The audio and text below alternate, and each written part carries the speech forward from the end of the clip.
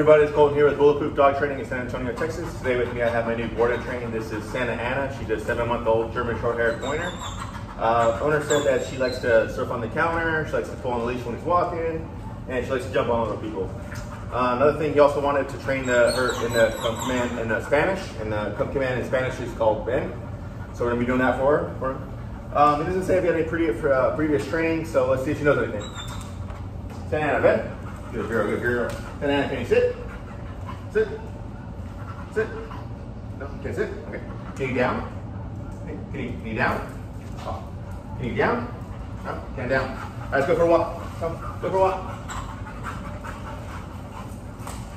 And come on, release that way. Come on, come on, go for a walk. Come on. And let's go around the pole. Yep. So she's all over the place. That's okay, we'll get it fixed up in the next 15 days, so keep up with the progress and, and all the other pups we have here at Bulletproof Dog Training in San Antonio, Texas.